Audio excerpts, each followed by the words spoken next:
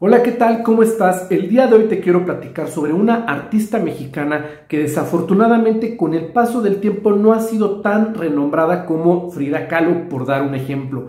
Cuando hablamos de Frida Kahlo se nos viene a la mente México, su folclore, su cultura, su arte y todo lo que lleva la personalidad de Frida. Sin embargo, en mi opinión, hay artistas mexicanas que si bien no tienen el mayor renombre, deberían de tenerlo igual o a la par de Frida. Y estoy hablando de esta gran artista llamada Carmen Mondragón, mejor conocida como Nahui Olin, que su significado en náhuatl significa perpetuo movimiento o movimiento perpetuo. Y es que ella nace en 1893 dentro de una familia muy conservadora. Su padre era un general, un militar porfirista. Y estoy hablando de una época donde México se sometió a una dictadura pues comandada por el general Porfirio Díaz. Pero quitando esta parte de la historia, Nahui Olin desde muy chica la llevaron a Francia a aprender todo lo que tiene que ver con el arte, la literatura, la poesía, la pintura también y desde muy pequeña pues sus maestros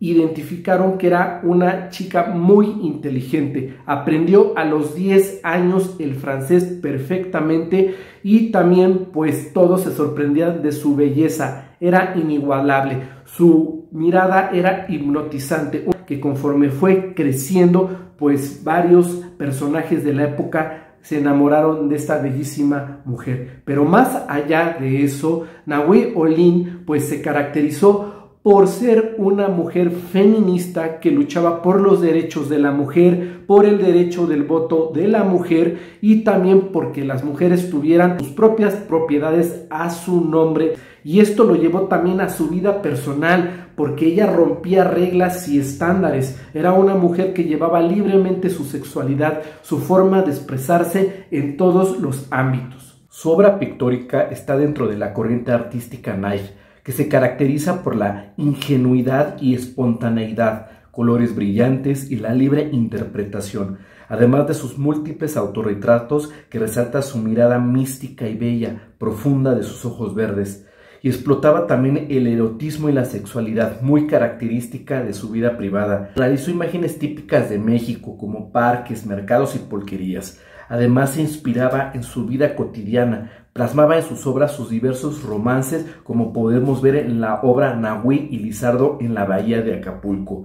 Y entre sus obras de poesía están libros como Óptica Cerebral, Poemas Dinámicos, Energía Cósmica y otros escritos en francés. Sin olvidar mencionar que fue fuente de inspiración para otros artistas como Diego Rivera, que la pintó en el mural llamado La Creación, y el mismo doctor At, quien fue su amante y realizó retratos hermosos de ella.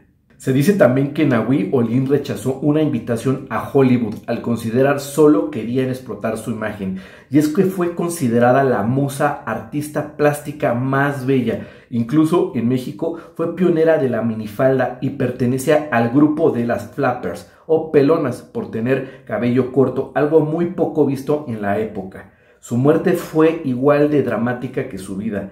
La muerte de su último esposo la llevó a la soledad, se alejó de la vida pública y se dice que para mantenerse a ella y a sus decenas de gatos vendía sus fotografías desnuda cuando era más joven, ya que se había descuidado y se decía que la podían encontrar deambulando en la Alameda y así murió en 1978.